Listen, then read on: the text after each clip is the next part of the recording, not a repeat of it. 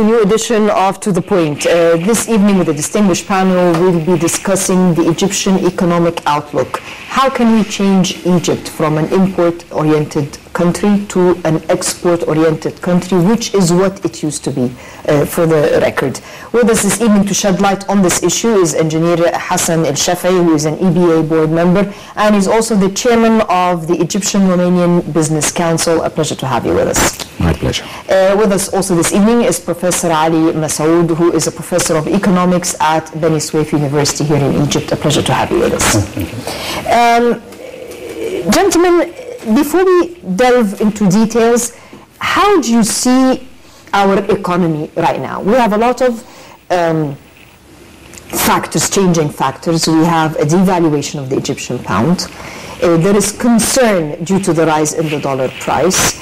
Uh, specific, specifically since we're a country that imports most of its strategic commodities, which is done in hard currency. Uh, we have uh, a lot of issues with a gradual reduction of subsidy, which is also another reason of concern. How, how are we progressing? We have a problem with our reserves. Okay, I think when we talk about economy, economy is an environment for business. I don't want to be pessimistic like most of the people today's. Mm.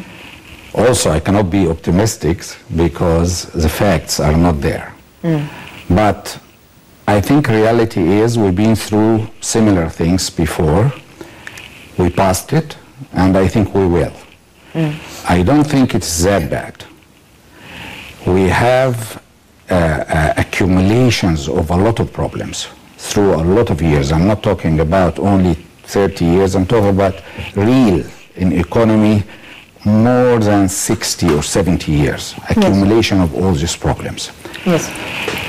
And you want to change all the system, you want to change everything because if you talk about economy, you talk about productions, you talk about competitions, regardless if you export or you just produce for your own consumption.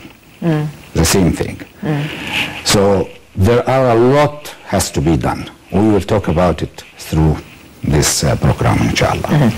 uh, Professor Ali, how do you see our economy? Well, actually, what I see that uh, the government of Egypt is taking, and the central bank as well, uh, are taking some steps to stabilize the economy, mm. which is the, the major step in order to achieve economic growth after that.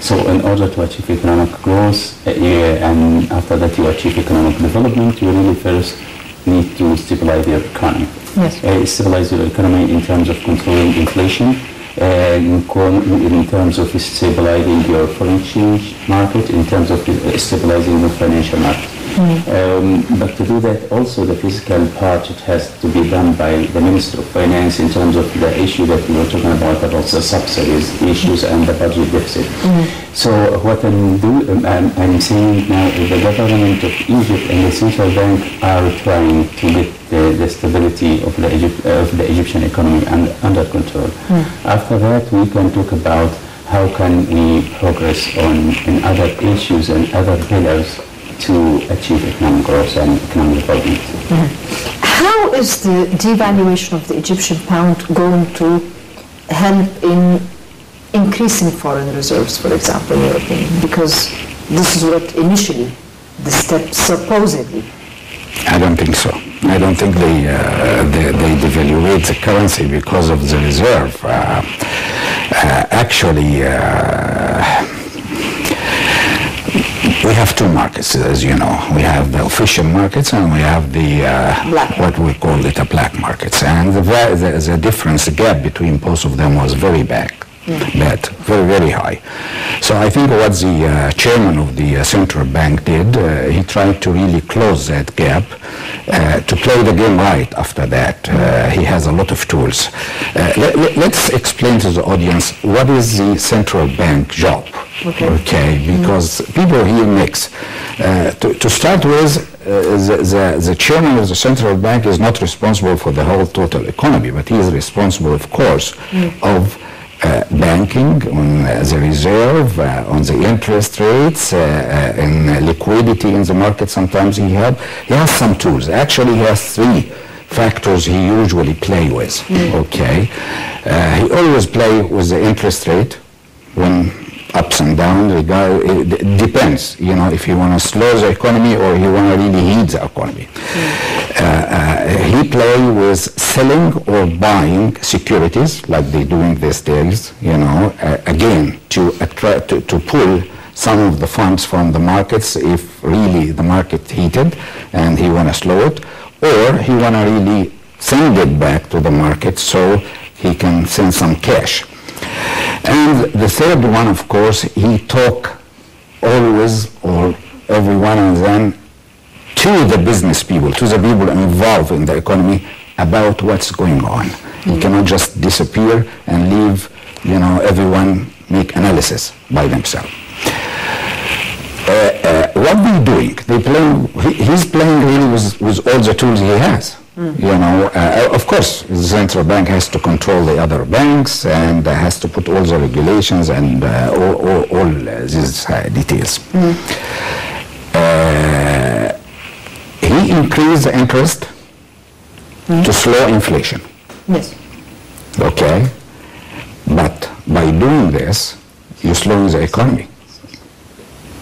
Mm. It's, it's a very tough job. It's a tough okay? equation. Yeah, it, it, it, I, I think professional people knows what's going on and they know it's a very tough game and uh, you know uh, there are no certain things like uh, black and white and when you talk about solutions in economy you, you keep trying error until you find the right solution for yourself yeah. Uh, uh, he start to sell securities to pull a lot of, uh, you know, I, I, think there are a lot of saving in Egypt. Mm. There are a lot of deposits. All the figures show that. So he is pulling some of it, again, to slow the inflations and to slow the economy. He talk every once in a while to explain what's going on. Of course, there are some rumors that the reserve will be increased within a couple of months, and I don't think he's the one who mentioned that, but some of uh, people around him, and they even put figures. Uh, how they going to do that, nobody explained it, and I don't think anyone will announce it right now, but I believe they have a plan mm. to increase the reserve. Okay, from that part. But if this is will solve the problem we are facing now, what is the problem we're facing right now? The problem we're facing is that there are a big, big gap between the export and the import. We don't have enough hard currencies to cover that gap from all the other resources we have. And therefore, the devaluation is keeping up and up. What that will do is the rest of the people, the populations, it will increase the price. Some of the people who can afford it, but some others they cannot afford it. So either the government has to subsidize the poor people with the difference in the prices, or, or subsidize the dollar. They don't have other choices. The other choices in the long term to close the gap between the export and the import. Mm. And that's what we should be doing for a long time. We should not leave importations to reach that level without any control or any uh, uh, uh, regulations. Mm. I, you know, I haven't seen, not, not even in the United States. But when you kill strategic industries, and I'm trying here to be very diplomatic because this is what happened. We okay. killed very strategic industries. We killed... Such as? A lot of food industries, for example. Uh, you talk, you're talking about in the local industry. Uh, yes, how I'm talking I, about locally. When you kill how strategic... How I kill it? By not making it grow, by not making it competitive, by not making it... Uh, oh, you mean by allowing importations? Yes, you kill yeah, that. Yeah. That's what I mean. Yeah, that yeah, for, for example, you want a product X, you're not producing enough, you have to import it. I hate to say that. Even though you could have been producing. I, I hate to say that on the air, but actually, through 60 years, as Egyptians, we learn to be lazy. Mm. It is much easier and more profitable to import than to produce. Mm. Industry and production is very tough business. And sometimes you're losing. You don't make profits, you're losing. Mm. It's a gamble. While if you import, it's a kind of guarantee profit. So most of the Egyptians go for the easy way. Mm. So you have to put obstacles and regulations to slow that. I'm not saying to stop it, to slow it, mm. to regulate it. With this, the policies of the devaluation of the Egyptian pound, in your opinion, will it slow that? No. You don't think it will slow importation? There is still, okay, why import, uh, uh, importers still active? Because there are a market for their products. I mean, if we import by 80 billion US dollars. a substitute product, then there wouldn't be a market. We, we, we, we agreed there are no competitive local uh, productions yet. Mm. Okay? But, again, we are a poor country. So how we consume... Are we a poor country? I think we are poor state, but we are not poor people, at least if we, we have to divide Egypt to, the, to, to, layers. Because the, the, the, issue of poor here is, is very wide because it's not just a matter of income in people's pockets, but if you have the human resources and you're blessed with the natural resources, are we poor or lazy if we talk or about not intelligent? Here I'm trying to be very diplomatic. No, uh, if we want to talk uh, professionally, GDP, growth in the GDP, average income for capita, uh, uh, consumer, uh, the amount of consumptions for individuals. If you put all these figures, yes, we are not a rich country. Mm. But if we do look at things from a different perspective, then we some of the Egyptians, not all. If, here is the problem. We cannot talk about Egypt 90 million. It's not true. There are very rich Egyptians there are middle rich and they are just average and they are very I'm poor. I'm not talking about individuals. I'm talking about qualification of a poor country as a country that lacks in resources, not just money. Um, I think we still have to work very hard to be an average when it comes to uh, economy. Hmm. Uh, you know, I, I, I read this report about 2030 uh, we will be number uh, 30 uh, in the world. I hope we will. I don't know how, but I hope we will. Uh, Professor, let's get your point of view on the discussion. Uh, okay, first of all, uh, regarding what is going on with the dollar, it actually it goes back to the 1960s. Mm. when actually the Egyptian central bank was fixing was fixing the um, the exchange rate of the Egyptian pounds to the dollar 1.1 to 1 dollar. Mm. and it, it went through and up until at the beginning of 1990s when it changed exchange rate regimes and it adopted what we call managed floating. And after that, we get through many turbulence until we end up by uh, 2003 and the Egyptian Central Bank uh, announced floating exchange rate, which it was not really a float mm. as we know. Uh, the problem is uh, the exchange rate is going to be there. Mm. Why?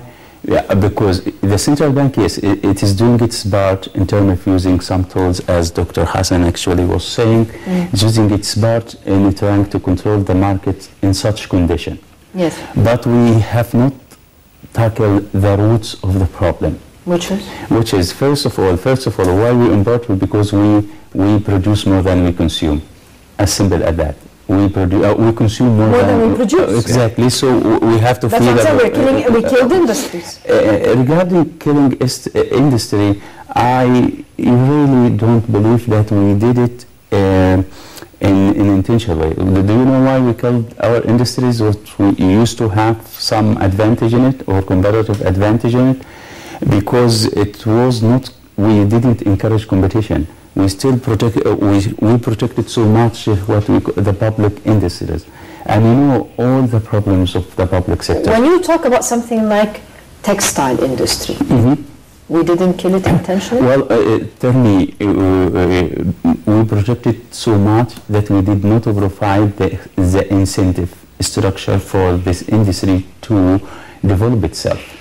So if the, if the industry is protected by the government and it has no incentive to develop itself, it's going to die, not be killed. Was it protected by the Uh, government? yes, was it the was. At the beginning, industry yes, in the 60s and the 70s was The protected. textile industry yes, yes. protected by the government? Yes, yes. it How was it In the 60s. In the 60s, yes, We're, definitely. we're not talking about the deterioration of the textile industry in the 60s. Uh, yes, exactly. But this is uh, That's uh, uh, this is this is the root of the later. problem. Yeah, this is a problem. The root of the problem that you did not provide enough incentive for this industry to develop itself. This is a problem. This is a problem. We actually had this industry and car industries and other kind of industry. Or why we didn't kill the steel industry, for example. Right? Why the steel industry is growing. Why? Well, because it is it is working in somehow competitive markets and use some subsidy in electricity and, and some of the energy resources. But the main thing that they are developing themselves. So this is the, the main issue. So if I go to the root of the problem, actually what we really have that we consume more than we produce, then how can we really uh, change the structure of our economy? to know the your structure of our economy, just look at what we export. If you say that uh, at the fiscal year 14-15, we exported only 22, uh, 22 billion dollars, we import 60 billion dollars. Was with, uh, with with deficit of trade balance, you have uh, 38 billion dollars. The main issue that look at what you export actually. Only 43 percent, 43 percent, which is 9.5 billion dollars, was finished products, and the rest was uh, raw material, and only new 2 billion only is semi-final. So you talk, uh, you talk about the rest is um, uh, raw materials and some uh, product of oil and petroleum. So how can you really change the structure of your economy? Now the structure of the Egyptian economy is really not in, in, the, in its optimal structure. Uh, when you talk about uh, how can you really change the industry and to play a very vital role, okay, it has many strategies. The first, the first thing, uh, do you really have a strategy to uh, close the technological gap between our country and the rest of the world? we- you have two, two, you know, two main strategies there to import this technology through foreign direct investment or through other channels or to produce them locally, which is going to take a long time. To produce them locally, you have to really spend so much money in terms of R&D research and development programs and to reform your education even. So all of it, it is connected together in terms of uh, technological progress, progress. We still, there is a huge gap between the level of technology in Egypt and the level of technology uh, uh, uh, in the rest of the world. Which means what? Which means in the long run, not only in the long run, in the medium run, we will have, we still have, the, our product are not that competitive. Why it is not competitive? Because if we have technological progress is very, uh, technology, technology, the level of technology is low, then you end, and your education system, as you know, you end up by a very low level of productivity. Level of productivity means what? Means you will produce by more cost, which means your price is high.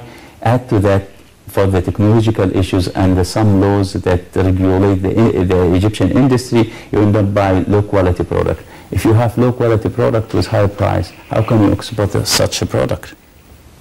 Right? So it what's the solution? Okay. Although I agree with your statements that we are killing some industries uh, when we really import the competitor uh, goods, but this is the marketing part, the end part. Hmm. There are a lot of steps before that which we really destroyed hmm.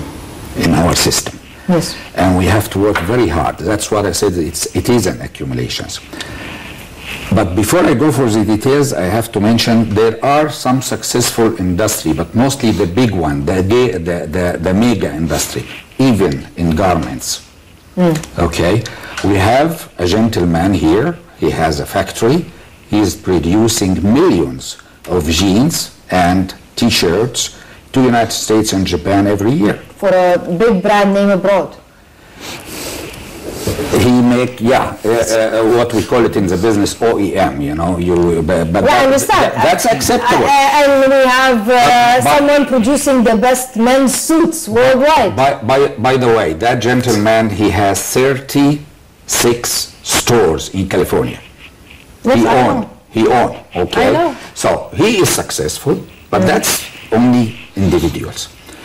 As a matter of fact garments is one of the top still one of the top five industry in egypt exporting. Hmm. Okay so it's not very bad. But can we do more? Of course we can do more. The total of our export is about 25 billion us dollar. The garment export from Turkey is 28 billion US dollar, only garment. Hmm. And if you go back 25 years ago, we were double productions what they have. So what they did, the whole process is corrected there. Mm. You are talking here about when you have when you want to make an industry, when you want to make a factory, you need the land, you can find it. You need a finance, you can't find it. You need a skillful people, you don't find it, not even workers. No, we need Okay. training. You said we have a problem with, with are- education, even the, vocational. the, the whole cycle needs a lot of work, very serious work, if we really want to compete. Because the bottom line is, in any industry, you have to be very efficient, very productive, produce a product with the spec the client's needs mm. with competitive price. If you can do that, the marketing part will be very easy. Do you think the current government can do that? We've just I- had a facelift in the government, and the I, issue I, is... I, am very, very impressed with our government right now. They're doing a very good job. They're working very hard, but like we said, it's an accumulation of a problem. Mm. But they, they, hand, they, they work in, in energy. They work very fast, okay? Mm. They work in building roads, ports. And then they work with mega projects as well, like Suez Canal and, and, and these things. And finally, they announce this small and middle uh, uh, uh, projects, uh, uh, which is 200 billion Egyptian pounds, will be available for 5% interest. So this is the tools for success. But is it enough? Of course not. Because you can have a good plan, you can have a good vision, you have a good plan, but if you don't have the right people to actuate this, hmm. to actually proceed and follow up with it, you will not reach the conclusion. Hmm. And that's what we need in Egypt. Hmm. We have we have a good visions, we have a good plan. We have a good government, as you said. What about the role of the private sector? How can we get the two to work together to move forward? the, the, the private sector are very ready right now if we just take the obstacles from not the top management of the government, but the middle management and the low management, which is driving our life crazy. Mm-hmm. Those are the people, this bureaucracy and corruptions in this level, driving every private sector crazy. Only the big companies can afford it and they hire people to do that. Hmm. But small companies and middle companies, they usually get so frustrated and they get out of the business. Hmm. This is reality. So we have to clean the atmosphere. Hmm. How? I think we're talking about window, one window. One-stop window. One-stop window. I- I- I- It's only in the media. I want to see one, one sector applying this one-step window. Dr. Uh, Ali, maybe I'll, I'll, I'll shift the discussion here because you mentioned the issue of education and you're prof- by profession into that field. Um, what do you think needs to be done to encourage two things? A revamping or a facelift for our curriculums to match the new technology and maybe to change the culture of I have to go and be a university graduate when the market does not need all of us to be university graduates because this is a culture now. Well, um, Actually, let me talk about two things. The first thing, uh, when you talk about education, uh, it had uh, three main impacts on a human. Uh, in, in human. First, you are talking about accumulating knowledge. You are talking about accumulating skills. You are talking about attitudes, which you talk about. Uh, you just talk about that uh, changing people's minds. Yes.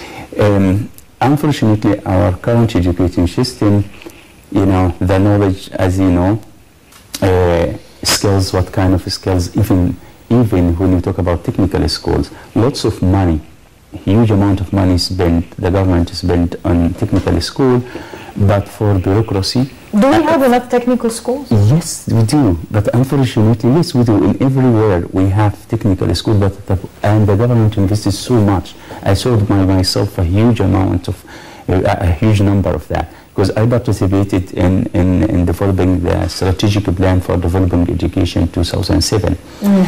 And um, there is a huge number of technical schools, but the education system is really dumb there.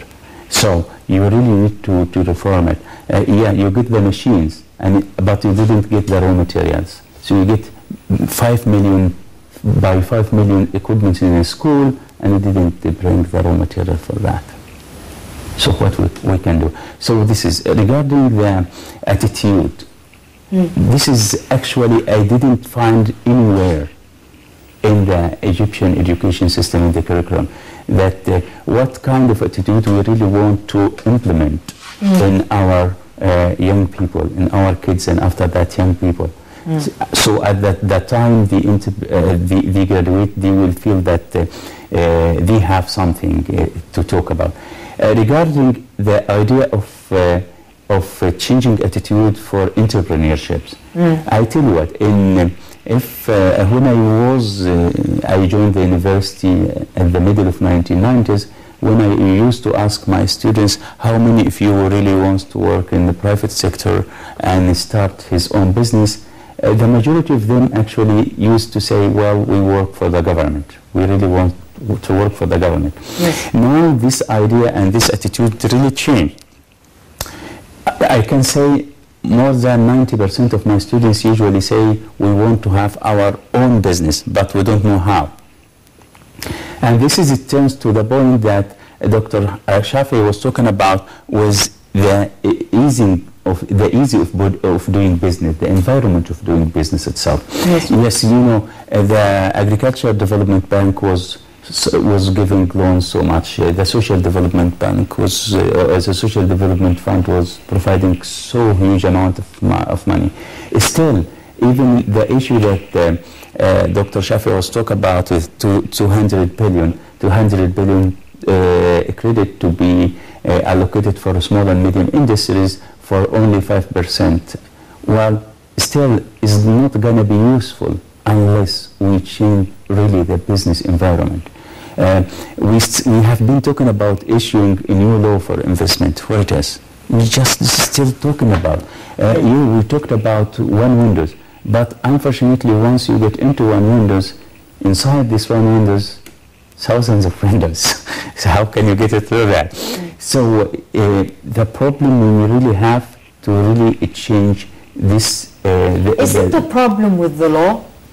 Or with the implementation? Uh, well, honestly, we have triple actually problems, not double. Mm. We have a problem with the law. We have a problem with the implementation. We have we have a problem with people who are implementing the law. So assume that when you get that, like incentives in the laws to, uh, for instance, to uh, to encourage investments in some governments like Upper Egypt and Sinai and Marsa and so on. Do you think that people at the level of local administration know about the economic uh, issues, know about the economy? Do they have the idea? Do, do they have the idea to put together a developmental plan for their government? I doubt. Are they supposed to do this? Is this their job? Uh, well, when you talk about who are going to implement that in the real, if you get some rules and at the end of the way you go to the bureaucrats and the employees there, and if the governor and it's the, the teamwork there don't know what is really going on, here it comes the bureaucracy and complication and the the problem of implementation of all this. Uh, mm-hmm. Let me, uh, I want to continue from the same uh, direction. Uh, uh, I want to talk a little bit on the pride side. I am, I'm in the business in Egypt, and I've been in the business in the United States and other countries. Mm. I got my education here in Egypt. Mm. Yeah, I got some abroad, but mostly here. Your core? Yeah. Education was here. And it was completely sufficient. What happened? I, I, I, I, compete. I know all the details, and uh, I have a lot of respect. I got promoted very easily over there, and I used to be a leader in the industry over there. In, in fact, I, I, put a lot of factories for these multinational companies, more than 32 countries in the world. I, I, I established yeah. that. Most of my colleagues running the business here are from Egyptian universities and Egyptian schools. Mm. So it was nothing wrong with the schools. So what with happened? the educations. More with the curriculum, it seems. I, I, I, because it made us competitive. All happens the last 30 years or 40 years. Mm. I think in the last 35, we have to study that. We have to make research. Mm. What happened? Have we increased the students? Yes. Have we neglected this as a teacher so badly? Yes. And no incentives until the, everyone got a private uh, lessons to pass and that's the end of it? Uh, uh, uh educations. And the number of students assigned to each teacher is, education. Is education is a very critical matter, not only to industry, to any development in this country. So if you want to develop this country, you have to really go for educations from the starting to the end. In my opinion, you have to go second to health because a healthy person who is the one who can produce and create. Okay? and the rest of the stuff after that, you know. Yes. So, you talked about the school and technical schools. A few weeks ago, I have a conference. They invited me as a businessman with the executives of the school technical. Do you know that they have over 20,000 schools, mm. over 2 million students? They graduated 700,000 every single year. Mm-hmm. 7,000 vocation, people trained in vocational skills. 700,000 every single 700,000. year. Every yes, single year about grad, graduated knowing nothing. This okay. is the way. Okay? okay. this is the way. After, after a long discussions, they asked me. And this is all subsidized education? Absolutely, 100%. Mm-hmm. They asked me because they want to train these people in the factories. I simply said, we will be more than happy to train all the two millions. But, but you have to come and ask us what we need. You have to teach them the basics. Mm-hmm. You have a product I don't need. mm. Why shall I pay for it? As simple as that. Yes. Makes sense. So all, everything can be resolved with a little logic, with a little cooperation and teamwork from everybody. How is, uh, I mean, you're a board member in the Egyptian Business Association, yes. which is housing the, the, the big all, all the business uh, community in Egypt. Uh, how, how is this, how is EBA working with the government? Because you said that you have all those plans, but give me the vocation, the worker that I need. You're the one that's supposed to say what kind of a worker you need and uh, the Minister of Education or Vocational Training, whatever, is supposed to put the program together. Believe me, through years we get tired sometimes from repeating the same request and nothing happened. But I will give you an example about the subject we were just talking about, the 200 million Egyptian pounds for the small and the middle uh, projects. We in EBA decided to do something in this. Mm. The problem, like the professor mentioned, Professor Ali mentioned, is not just to give him the money, because like some people said, most of the people will get the money and get married. they will not have business. Okay. It's good for the, the, for the society, but that's not what we need. Anyhow, what we are planning to do, and we are in a very detailed process, mm. we have a lot of members who has a lot of successful business, big businesses. Every one of these big business has uh, uh, sub-assemblies, some products to sell to that guy, to that person, so he even assemble or export, okay?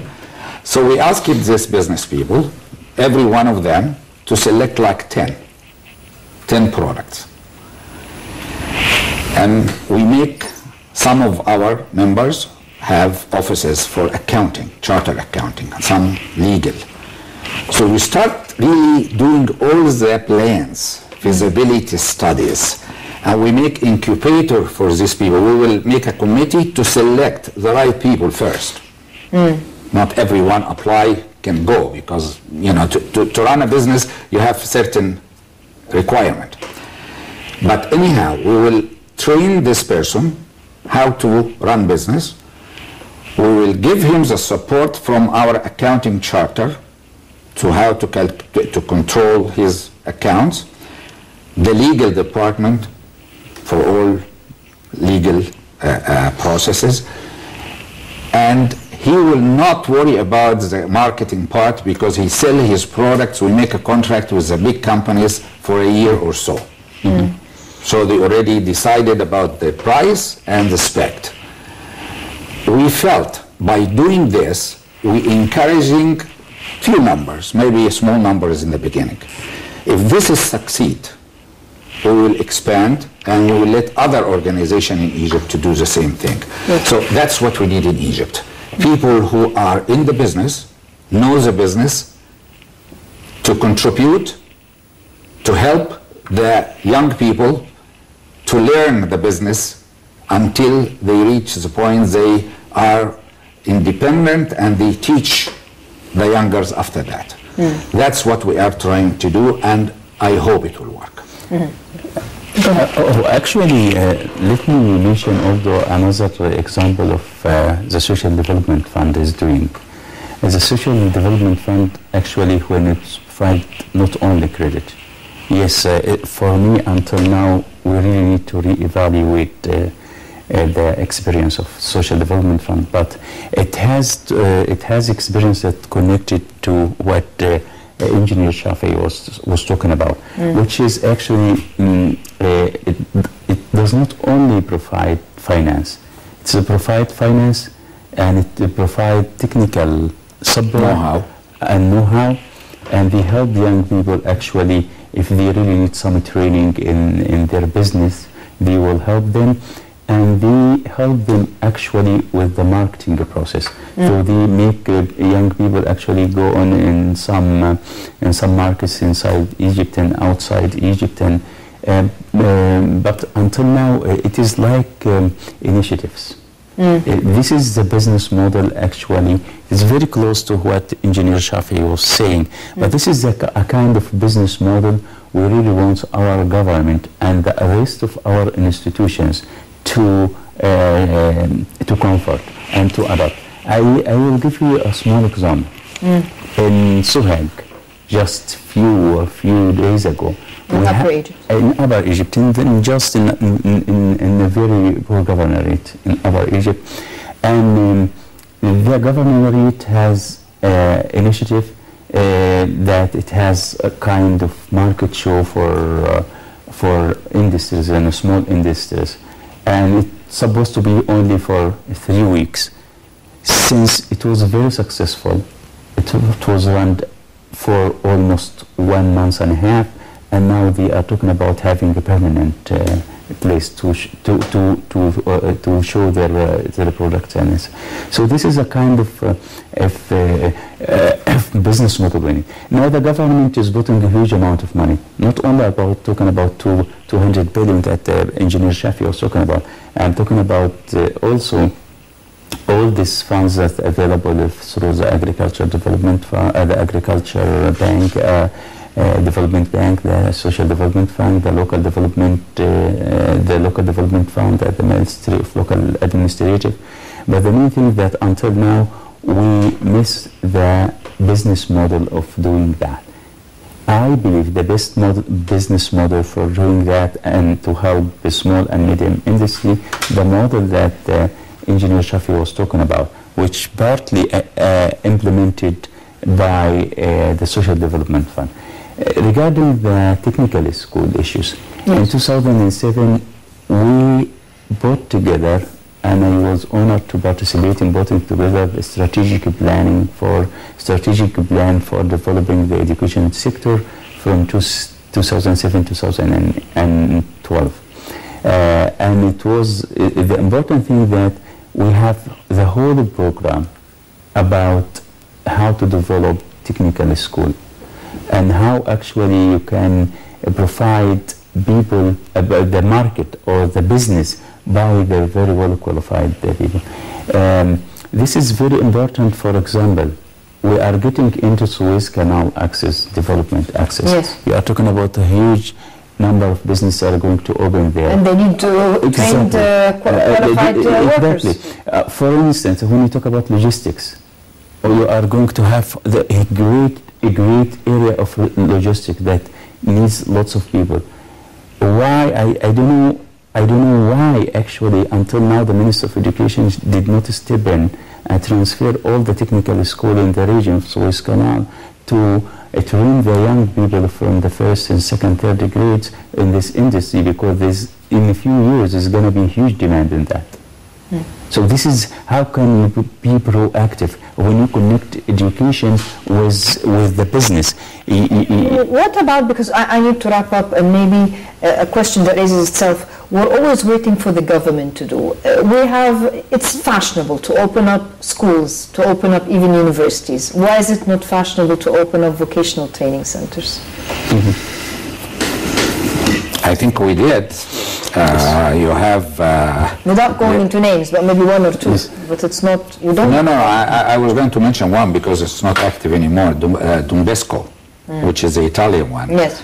We, we're still searching about the graduate of these people. We, we, we fighting each other to get some of the graduates mm. because they were very good. Mm. It was a successful story. Uh,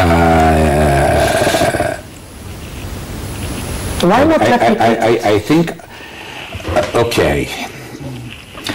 I am not saying, okay, the government, of course, of any countries, by the way, I, I, I, like to answer your questions quickly, the one you raised in the beginning of this, you know, how to, how to increase our export, how to be an exporter uh, company. And I studied the case in China. I studied the case in Turkey how they really changed themselves. I, they were in a worse case. Definitely. You know, than us. Usually the government is the leader, are the pilot, are the, uh, they are the driver. They taking the whole thing after them. If you look to China, how they really export, the government goes, make a study, and some of these companies for that making research or marketing research, it's, it's really funded by the government. And then they decide which one, uh, what is the size of the country. Sometimes they give loans to the country they, go, they, they, they, they enter. And from one side they give the loan and from the other side they're sending their products and they invading with their products. That's how they did it. That's how the Turkish did it as, as well. You need a leader, regardless if this leader is a private sector or a government.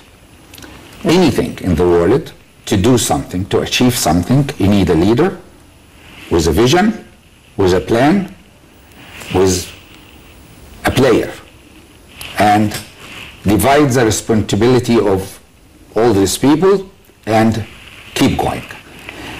We missed that for years. Mm. We did not have a leader, regardless if it's a private sector or a public sector.